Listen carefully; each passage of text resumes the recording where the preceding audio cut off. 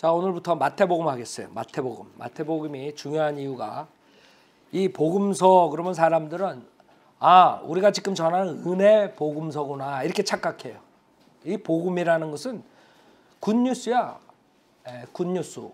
주님이 하신 굿뉴스랑 지금 우리가 전하는 굿뉴스랑은 틀려요. 우리가 전하는 굿뉴스는 예수님에 대한 좋은 소식이야. 즉 예수님이 죄인을 위해 십자가에 죽으셨다가 장사되시고 부활한 예수님에 대한 굿뉴스야. 그러나 사복음서는 예수님의 좋은 소식이라고. 무슨 말인지 알아요? 예수님의 굿뉴스랑 예수님에 대한 굿뉴스랑 틀린 거야. 그래서 이 사람들이 복음서라고 그러는 거예요. 예수님이 와서 사역하셨다 이거지.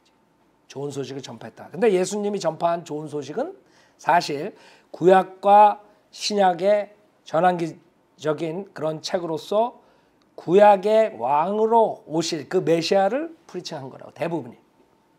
교회적인 요소가 좀 있지만 에, 적은 부분을 차지하지만 대부분이 지금 구약에서 그 주이시의 왕으로 오시는 그 메시아를 기다리는 그 주이시들을 향한 복음이라고요.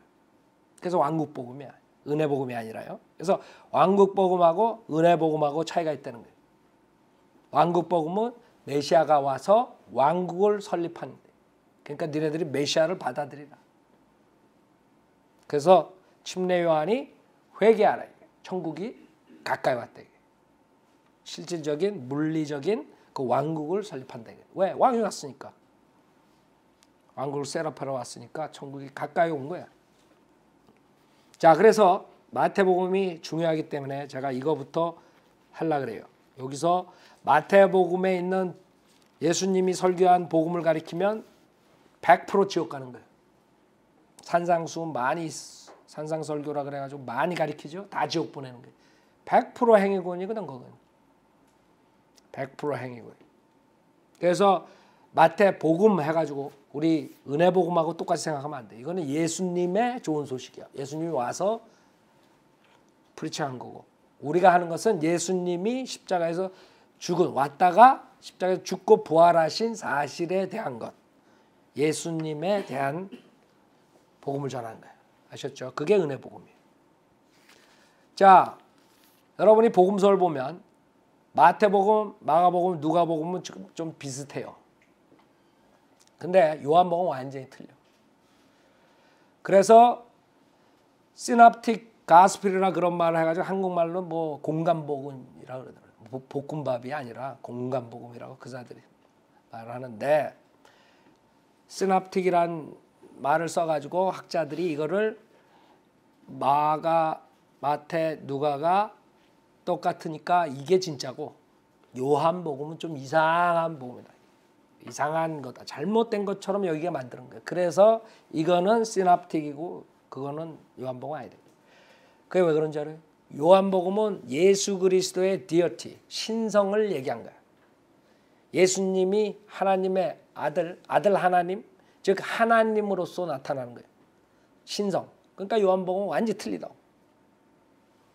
그 다음에 요한복음은 미래에 올그 거듭남에 대해서 상당한 부분 얘기를 해요. 십자가 사건 뒤에 얘기를 한다. 성령 오시는 것을 미리 얘기하고. 그 때문에 우리가 전하는 은혜 복음하고 거의 비슷해. 요한복음을 읽으면. 그래서 구원받기 전에 많은 사람들에게 이거 읽어보라 그래. 요한복음 읽어보라 그래. 그 다음에 로마서 읽어보라. 그 두 가지 책이 구원을 받는데 상당히 큰 도움이 돼요. 그래서 여러분들 성경 전혀 모르고 안 받아들인 사람들 우선 로마서, 요한복음 이 두 가지 읽으라 돼요. 거기에 이제 은혜 복음에 대한 것들이 나와요. 그러나 요한복음은 미래에 올 성령, 미래에 대한 것 십자가 사건 뒤의 것을 거듭남에 대해서 얘기한 거죠. 자, 그러나 마태, 마가, 누가는 실질적으로 예수 그리스도의 인성을 얘기해요. 인성. 예수 그리 특히 마태복음은 예수 그리스도가 왕으로 오신 왕으로 오신 예수 그리스도를 전하는 거예요. 그래서 이 족보들이 쭉 나오죠. 마태복음 1장 1절에 족보가 딱 나올 때 다윗의 아들이요가 먼저 나. 왜 왕으로 오셨으니까. 왕으로 다윗의 아들이라고 얘기하는 하는 거예요. 마태복음은 왕으로 오신 예수님을 말하기 때문에. 그러나 누가복음은 인자로 온 사람의 아들로 왔어요. 그렇기 때문에 누가복음 3장에 보면은 족보가 쭉 누구의 아들 누구의 아들 나가다가 맨 마지막 3장 맨 마지막에 아담이 나와. 그 조상의 끝이 아담으로 가요.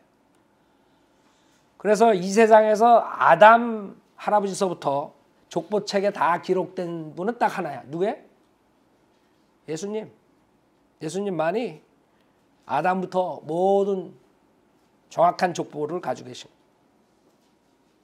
그래서 누가 보면 사람의 아들로 온 예수님을 그리기 때문에 족보가 아담으로 올라가고 마태복음은 왕으로 온 예수님을 그렸기 때문에 다윗으로 시작되고 그 다음에 아브라함의 아들이 왜? 아브라함이 첫 번째 주이셔. 첫 번째 주. 그래서 주이시의 왕이기 때문에 아브라함부터 나오죠 족보가 그 다음에 마가복음은 종으로 왔어요 종으로 종으로 오신 예수님 말할 때 마가복음은 족보책이 없어 종이 무슨 족보가 있어 족보를 만들어야지 종들은 가짜로. 그래서 이렇게 예수 그리스도의 지니알로지에 대해서 그렇게 틀린 거예요. 요한복음은 하나님이에요. 하나님의 아들. 그렇기 때문에 족보가 영혼으로 올라가는 거예요. 처음에. 그리고 인간의 족보는 없는 거예요. 그래서 하나님부터 시작하는. 말씀이 하나님이다. 이렇게 나오죠? 그래서 창세기 1장 1절 전으로 올라 영원 세계로 들어가. 그러니까 여러분 성경은 이게 아주 우스운 것 같지만 이렇게 족보만 가지고도 다 성령님께서 일부러 다 이렇게 다르게 계시를 한 거예요. 그걸 모르고 그냥 인간들은 뭐 이 책은 이 책이랑 틀리고 저 책은 저 책이랑 틀리고 특히 그자들은 이 마태복음에 영감으로 준 성경을 부인하기 위해서 두 문서 이론이라는 그런 헛소리를 해요. 한마리로 간단히 말해서 마태복음은 마가복음과 큐 문서라는 이상한 문서를 베껴 가지고 나온 게 마태복음이다 이렇게 얘기하는 거예요. 그자들은 하여간 어떻게든 간에 영감성을 떨어뜨리는 거야. 인간이 그냥 베껴 가지고 그래가지고 온갖 이상한 서류들을 가지고 문서들을 가지고 나오는 거예요. 그 다음에 마태복음은 AD 어, 보통 64년에서 66년에 쓰여졌다고 많은 학자들이 그러는데 스코필드는 37년으로 보고 닥터 라커만은 46년으로 봐요. 그 정도로. 그러니까 지금 신학자들이 말하는 것보다 훨씬 전에 쓰여졌다. 그렇게 지금 에, 말씀하고 계시고 그 다음에 구약에서 신약으로 넘어가는 전환기적인 책이에요. 사도행전은 유대인에서 교회로 오는 전환기적인 책. 전환기 책은 그 여러분 전환기가 뭔지 알아요? 바꾸는 거 신약 구약에서 신약으로 들어오는 거예요. 그러니까 구약 냄새가 나고 그 다음에 거의 다 구약 냄새가 나고 신약으로 옮겨가면서 바뀌어지는 거예요. 특히 왕국 복음 위주로 되고 교회에 대한 것도 조금 섞여 있어요. 그래서 이건 다 왕국이다, 이건 다 교회다 이러는 게 아니라 섞여져 있는 걸 거예요. 그래서 여러분 사도 바울 서신 다음에 히브리서부터 그 요한계력 전에 유다서 뭐 이런데 얘기할 때 거기도 또 전환기적인 책이란 말이에요. 그래서 거기에 은혜 복음도 나오고 교회 시대도 나오고 그다음에 대한란 시대도 나오고 이렇게 되는 거예요. 그래서 여러분 전환기 시대의 책이라는 것을 알아야 돼. 그러지 않으면 왜 여기는 복음이 우리랑 틀린가 이렇게 되는 거예요. 주로 유대인들을 위주로 사용 이게 써진 거죠. 그 다음에 암시적으로 이제 교회에 대한 것들이 나와요. 자 노아는 아, 그 족보를 우리가 쭉 올라가면 이 Jewish들은 어디서 나온 거예요? Semites에서 나와요. Semite. Semite이 누구예요? 셈. 노아의 아들이라고. 노아의 아들 중에 셈이 나오고 햄이 나오고 여러분 햄 생각하지 말고 Hamites라 그래. Hamite. 그 다음에 어, 야펫.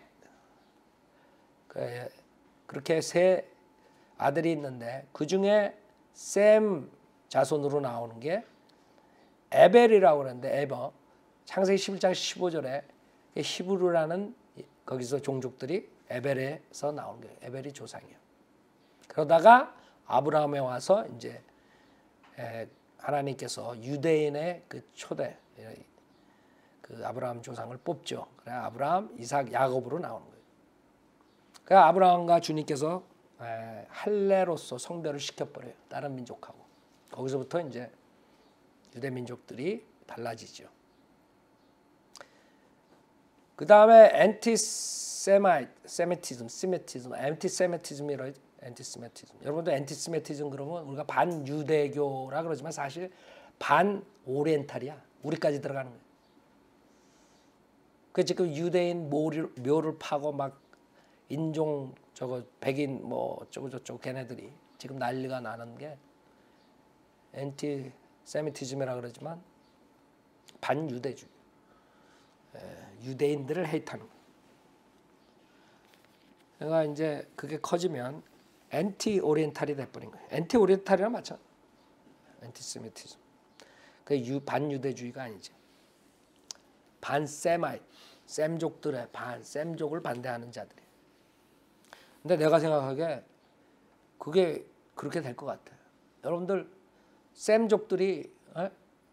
점점 점점 두각을 나타내면서 엄청나게 이제 박해가 들어올 거라고. 네. 여러분 대학교 갈 때, 여기 UC 대학 갈 때 에이시안 그렇게 하지 말고 어, 백인, 흑인, 에이시안 이렇게 한, 한꺼번에 쓰라 그래 애들한테. 에이시안 그러면 여러분 거기서 어, 10점 깎, 깎이고 들어가는 거예요. 이제 에이시안들이 대학 갈 때는 손해 보는 거야. 왜? Asian들이 두각을 나타내니까 성적이 다 좋아. 백인, 그 다음에 저 Spanish, 그 다음에 흑인들보다. 내가 생각하기에 anti-Semitism, anti-Semitism이 될 것 같아. Asian들이 직장도 그렇고 모든 게 앞으로 괄시를 많이 받을 것 같아. good news인데 왜 내가 이런 말을 할까? 엔티세미티즘 나왔다. 자, 그래서 여러분 용어는 정확하게 알아야 돼. 이 리버럴들은 다 용어를 바꾸기 때문에 문제야. 우리가 거꾸로 해놔야 돼. 거꾸로. 그 자들이 말하는 거. 정확하게 알고. 자, 마태복음은 두 개의 언약을 성취하는 메시아를 제시해요. 두 개의 언약은 특별하게 뭐예요? 뭐 다윗의 언약이에요. 즉 메시아 그리스도가 다윗의 씨로 와서 다윗의 보좌에 통치하시는 언약. 에, 그 땅을 통치하시는 그 땅은 유대인의 땅이고 그게 다윗의 언약.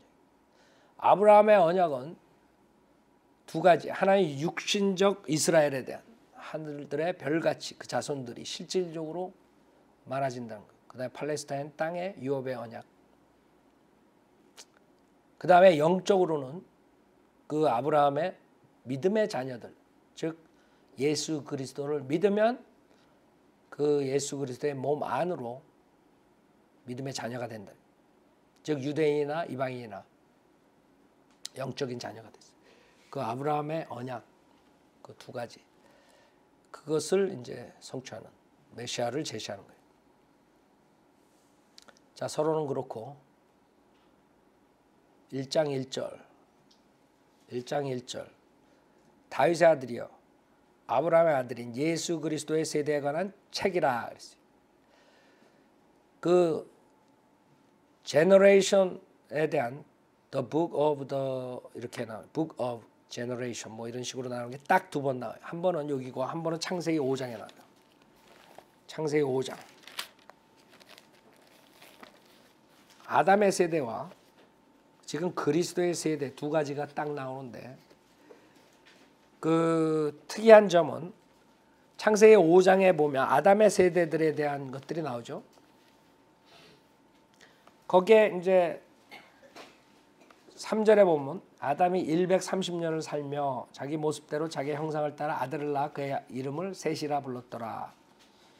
셋을 낳은 아담의 날들이 800년이었고 아들들과 딸들을 낳았더라. 아담이 살았던 모든 날들이 930년이었고 그가 죽으니라. 그렇죠? 그래서 처음으로 여, 러분들그 우리 숫자에 대해서 공부했을 때 5라는 숫자가 뭐라 그랬어요? 예, 자유신학자들은 그레이스라 그래요. 은혜라고. 그러나 성인들을 믿는 사람은 죽음이에요. 죽음. 그래서 성경에 보면 다섯 번째 갈비뼈 맞았을 때 죽는 거야. 그러니까 네 번째 갈비뼈 맞으면 안 죽어. 살아날 가능성이 있어. 예, 하여간 5는 죽음의 숫자야. 그래서 5장 5절이야. 여러분 뭐 구화절 이런 것도 그냥 아무것도 아닌 것 같죠. 그런 넘버를 공부하다 보면 상당한 계시가 들어가 있는 거예요. 5장 5절에 처음으로 죽음이란 아담이 살았던 죽는다, 죽는다 이런 말들이 5장에 쫙 나오는 거예요. 여러분 창세기 5장에 보면 족보를 썼는데 누가 낳고 누굴 죽고 누가 낳고 누구 죽고 이런 거예요. 그죠? 쭉 보면 다 누가 낳고 누구 죽고 누가 누가 낳고 누구 죽고 뭐 그런 걸로 쭉 나가요. 근데 마태복음에 지금 족보책을 보면 죽음에 대한 게 하나도 안 나와. 누가 누구 낳고 누가 누구 낳고 누가 누구 낳고 그게 신약과 구약의 차이죠. 신약은 예수 그리스도 안에서 영생이야. 그래서 죽음이라는 게 없어. 특이한 게 히브리서 11장에 보잖아요. 이 사람들은 엄청 죄 많이 진 사람이야. 그쵸? 히브리서 11장 한번 봐봐요. 근데 히브리서 11장을 보면은 이 믿음의 선배들이 엄청나게 훌륭한 것만 나와.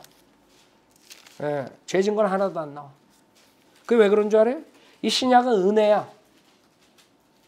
은혜기 때문에 주님이 예수 그리스도 안에서 모든 죄를 다 사해 주신 거야. 예, 그게 특이한 거예요.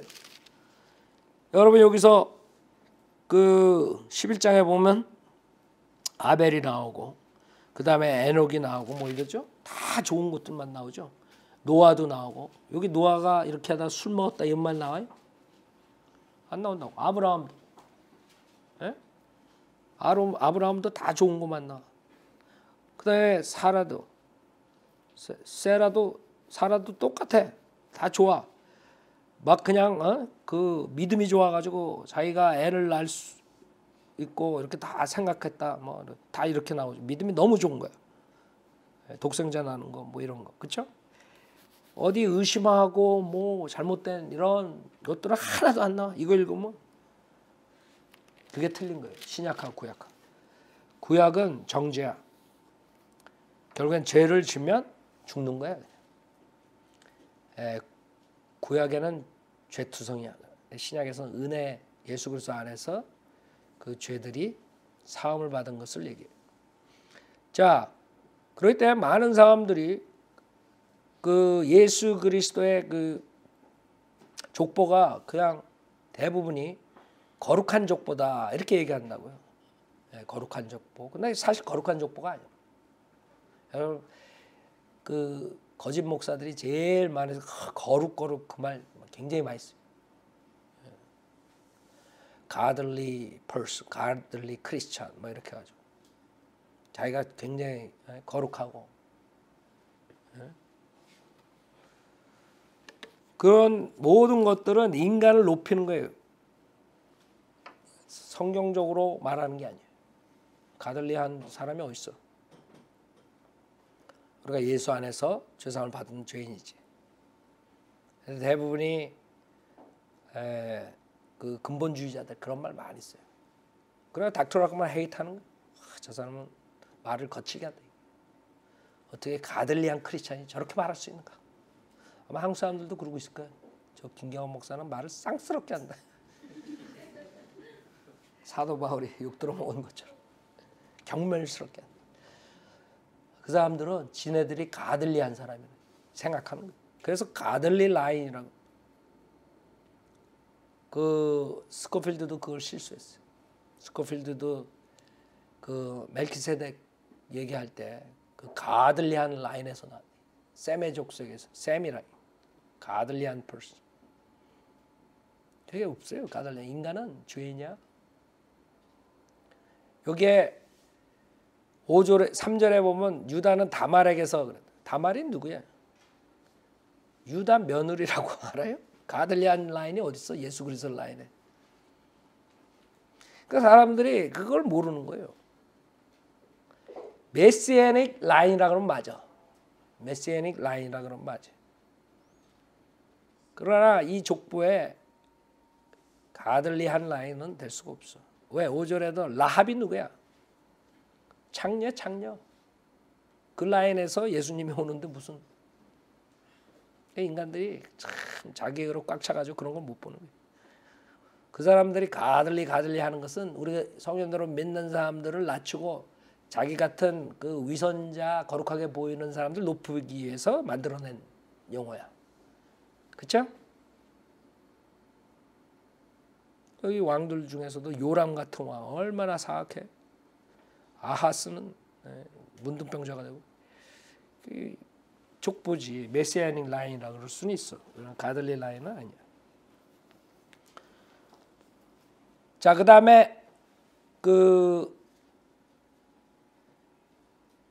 지금 1장 1절에 다윗의 아들이요. 어떤 병기된 성경들은 아브라함의 아들을 먼저 하는 경우가 있어요. 아브라함의 아들. 그 성경이 틀렸다. 머리는 또 좋은 것처럼 생각해 자기네들이. 아브라함이 아, 다윗의 위지 이렇게 하고 또 바꿔버려. 무식한 거죠. 지금 여기서 말하는 것은 다윗의 아들을 강조하는 거예요. 다윗의 자손으로 오시는 메시아를 얘기하기 때문에 성경에서는 계속 다윗의 자손에 다윗의 자손에서 나오는 거거든. 그럴 때 일부러 다윗의 아들이라. Son of David이 먼저 나온 거예요. Son of Abraham보다. 그 다음에 성경에서 son이라 그랬을 때는 그냥 바로 그 아들 솔로몬이 다윗의 아들은 원래 나단 솔로몬이라. 그래서 우리가 아 성경에서는 그 자손들을 얘기할 때 썬이라는 단어를 쓰는구나 그렇게 알면 되는 거예요. 그 다음에 다윗의 아들이 아브라함의 아들인 예수 그리스도의 세대에 관한 책이라. 아브라함은 이삭을 낳고 이삭은 야곱을 낳고 야곱은 유다와 그의 형제들을 낳고 유다는 다말에게서 파레스와 사라를 낳고 파레스는 헤스론을 낳고 헤스론은 아람을 낳고 아람은 아비나답을 낳고 아비나답은 낫손을 낳고 낫손은 살몬을 낳고 살몬은 라합에게서 보아스를 낳고 보아스는 룻에게서 오벳을 낳고 여러분 룻게 알아요? 오합여인이라고 네. 그 주님께서 보시는 거는 그 하시지 어떻게 회개하고 돌아가는 그게 중요한 거지 어느 출신이고 어떻게 무슨 죄를 저기 이게 아니 암만 자기가 거룩하게 살았다고 쳐도 회개 안 하고 죽으면 지옥 가는 거예요. 하나님께서 보시는 관점에서 사람들을 봐야 돼요. 네? 사람들은 루시니 라하비니 이런 사람 우습게 본다고? 살몬 라합에게서 보아스를 낳고 보아스는 룻에게서 오벳을 낳고 오벳은 이세를 낳고 이세는 다윗 왕을 낳으니라 그랬어요. 자 여기서 이세는 다윗 왕을 낳으니라 그랬어요. 공식적인 왕이에요. 다윗 왕 그랬을 때. 사실 유대인들은 처음에 왕이 사울의 왕이죠. 그러나 사울의 왕은 잘못된 왕이에요. 주님께서 유다 족속에서 왕이 나온 유다. 홀이 유다를 떠나지 않다 그랬죠. 그래서 왕은 첫 번째 하나님께서 허락하신 하나님께서 정하신 왕은 유다족 속에서 나와야 돼. 그게 다윗이라고. 그래서 이세는 다윗 왕을 낳으니라. 그 다음에 다윗 왕은 우리아의 아내였던 여인에게서 솔로몬을 낳고 그랬어요. 우리아 여기서 마찬가지예요. 우리아는 그 부하였죠. 그 아내를 범한 거죠 다윗 왕이. 예. 그런 무시무시한 죄를 진 거예요. 그렇기 때문에 여기는 우리아의 아내였던 여인에게 솔로몬을 낳고 이랬죠.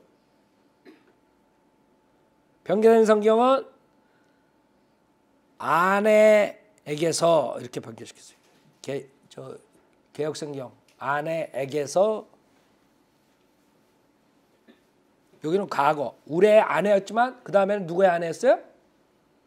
다윗의 아내였다. 예, 다윗의 아내.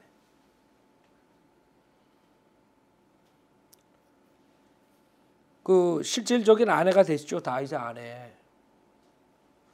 그래서 우리아의 아내여서가 아니라 과거에는 우리의 아내였다는 게 맞는 거예요. 예, 우리의 아내였던 여인에게서 솔로몬을 낳고 자 여기서 솔로몬이 나오는데 누가복음 족보에서는 달라요. 왜 그러냐면 우리가 누가복음 공부할 때 했던 건데 누가복음 3장에 보면 솔로몬의 족보가 아니야.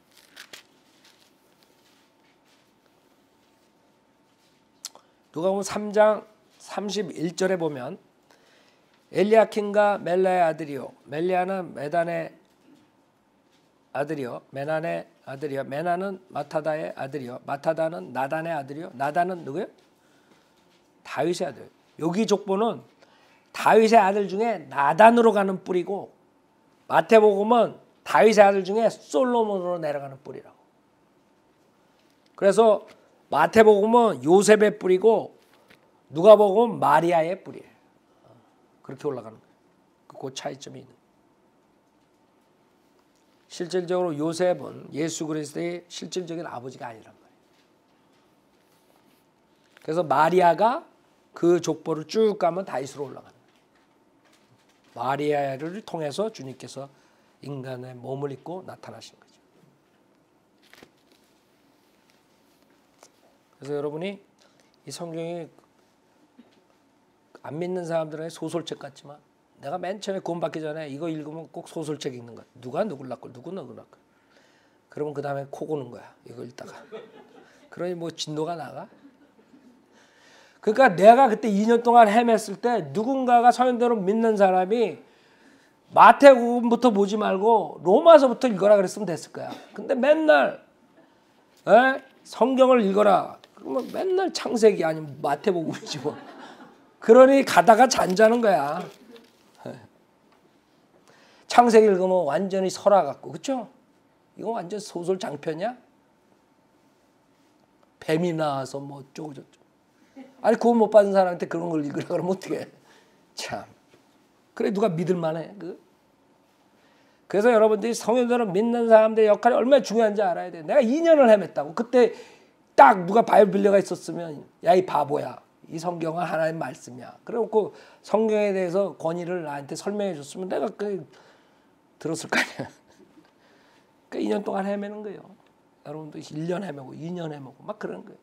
그래서 성현도로 믿는 사람이 정확하게 이 하나의 말씀은 여태까지 인간이 오류를 찾으려 찾을 수 없고 여기에 나온 거 네가 하나도 성취 안 된 걸 끄집어내면 여태까지 그런 인간이 없었다. 이러면 그 말에 솔깃한다고. 야 진짜 성경이 그렇게 도는 이 1초 10초 말하는 걸로 사람이 확 바뀐다니까 이 10초를 가지고 지식이 들어가는데 2년 동안 그런 거 모르면 그냥 헤매는 거야. 성경이 성경이 진짜인가 가짜인가 진짜인가 가짜 답이 나오나 그거. 그러니까 여러분들 바이블 리버가 이 입에서 나오는 그 한마디가 얼마나 중요한지 알아요? 인생을 바꿔버리는 거예요. 지옥으로 보내고 하늘나라 그때 누군가 나한테 그렇게 딱 얘기를 해봐요. 성경에 대해서. 그 다음에 로마서 읽어라. 그러고. 로마서 읽었으면 아마 읽었을 거야. 최소한 못 나가서 3장까지 읽었을 거야. 그럼 3장을 읽으면 답이 나온단 말이야. 근데 마태복음을 읽으라 그러니 이거 뭐 나가? 예? 누가 누굴 낳고 누구 나가? 1장도 못 나가다 끝나는 거지. 그렇게 되는 거예요. 그래서 여러분들이 인도해 주는 게 중요한 거예요. 인도해 주는 게 중요한 거예요.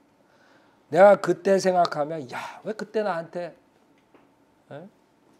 내가 뭐라고 했을 때 왜 내가 반박했을 때 그거를 다 해다 성경으로 나한테 정확하게 얘기해 준 사람이 없었나? 참 하나님의 은혜예요, 자비. 어? 그런 와중에서도 구원받게 해 주시는 거.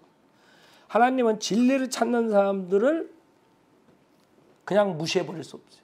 여러분도 대부분이 지금 바이블리가 된 이유는 여러분 안에 진리를 찾고 싶은 마음이 있었기 때문에 온 거지. 그냥 뭐 농땡이 진리에 대해서 생각 안 하는 사람은 여기다 갖다 놓지 않는다고. 그럼 어디다 갖다 놔? 저 영락교회 갖다 놓지 왜 여기다 갖다 놔? 예? 짝퉁거에 흠정역, 예? 보광역 뭐 이런 데 갖다 놓지 왜 여기 성현들을 믿는 예? 성현들을 믿는 교회 갖다 놔요. 여러분이 진리를 찾으면 하나님께서 답을 주시는 거예요. 근데 시간이 걸리는 게 그게 문제지. 그래서 우리가 역할을 그 역할을 단축시키는 역할을 해야 돼요. 그래서 성경 보면 이거 뭐 읽을 때 누가 누구나가 이러지 이렇게 자세하게 어 이게 이래서 이렇게 되고 성경을 여기서도 변개시켰구나 그거 알 수가 있나 아, 어떻게든 간에 마귀는 성경을 변개시키려 그래 제가 왕의 족보기 때문에 지금 우리가 다윗 왕으로 쭉 내려가는 그 다음에 솔로몬은 르호보암을 낳고 여기서 쪼개지죠 이제. 네, 나라가 쪼개져요. 아, 르호보암은 아비아를 낳고 아비아는 아사를 낳고 아사는 여호사밧을 낳고 여호사밧은 요람을 낳고 요람은 우시아를 낳고 우시아는 요담을 낳고 요담은 아하스를 낳고 아하스는 시스키야를 낳고. 여러분 족보 중에 지금 족보가 계속적으로 쫙 내려가는 게 아니에요. 특히 여기서 여호사밧의 그 다음 타자가 요람인데 이 요람 다음에 우시아로 바로 여기서 나오는데 실질적으로 우리가 족보를 보면 그게 아니에요. 거기에 세 왕이 빠졌어. 그럼 엄청 요람이 나쁜 짓을 하고 그렇기 때문에 3대를 주님께서 하나님 말씀대로 3대를 저주하는 거. 여기 안 나와. 3대가. 역대기야 22장 역대기야 22장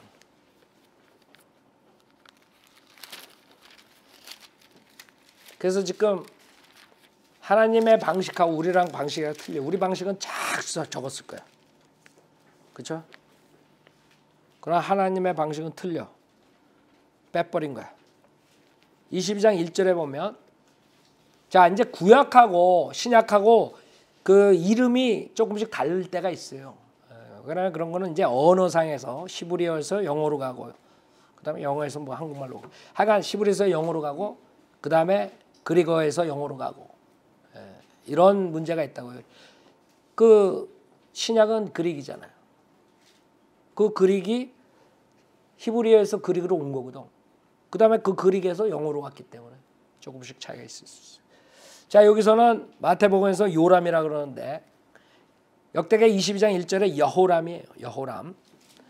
예루살렘 거민들이 여호람의 막내 아들 아하시아로 그를 대신하여 왕을 삼았으니 아하시아. 그래서 이 역대기야에서는 아하시아가 나오죠. 근데 지금 마태복음에서는 아하시아가 아니야. 요람에서 우시아로 넘어가. 그 다음에 24장 1절에 보면 요아스에서 누굴로 넘어가? 요아스가 7이 시작할 때 7세였으며 예. 그가 예루살렘에서 40년을 치래. 요아스. 그 다음에 25장 아마사 이렇게 나간다. 그래서 지금 이 세 왕이 족보에서 졸지에 빠져버렸어. 왜? 아비를 잘둘 덕분에. 예. 그 요람이 엄청난 짓을 했어요.